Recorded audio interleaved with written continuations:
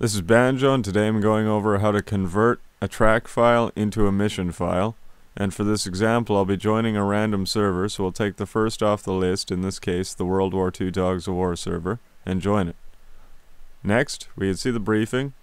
At this point we'll select any plane, join the mission, and this will automatically create a multiplayer track file, which we could find stored in user folder Saved Games DCS. Tracks will be stored inside Tracks Multiplayer folder, and if we sort by date created, we could easily find the track file for the mission we just played.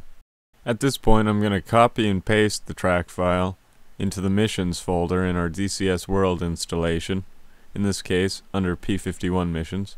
And I'm going to rename the mission to Dogs of War World War II, and then I'm going to rename the extension from .trk to .miz. This will remove any track information and convert the file into a mission file.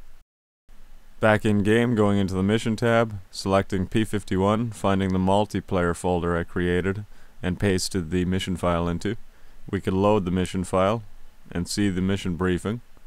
Entering the mission, we could see all the playable aircraft to choose from. At this point, we can choose our plane and spawn in game.